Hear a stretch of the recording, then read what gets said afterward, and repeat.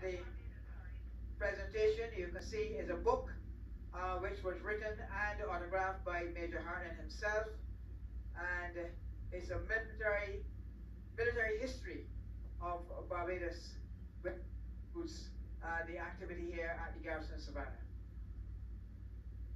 As it was in those days, the fort and aptly named after St. Anne's Fort. So congratulations to Stephanie.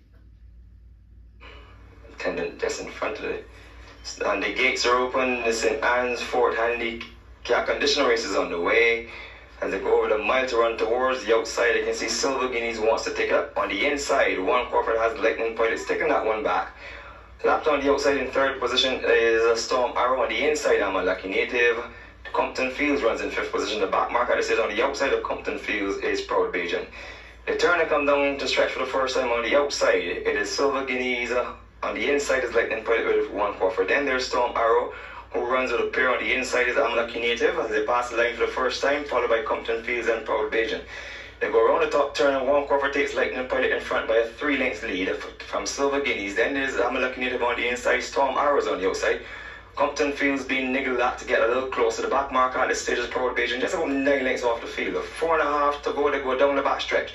And one Crawford continues comfortably in front on Lightning Pilot by three. Hard pressed on the outside to maintain second position Silver Guineas. On the inside, creeping up is Lightning Pilot. Storm Arrow comes under pressure. Compton Fields begin to run from the rear. Proud Bajan has a lot of work to do. Is at least 12 lengths behind the field.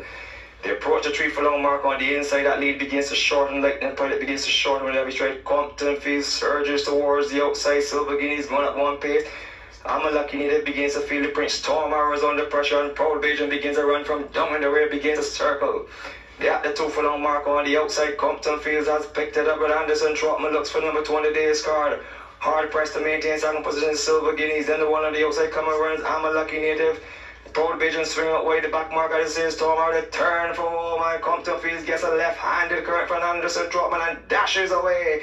This is an impressive performance requiring the extra distance. Compton Fields has his field put away. Anderson Trotman will poses for the camera. Stands up halfway up the stretch.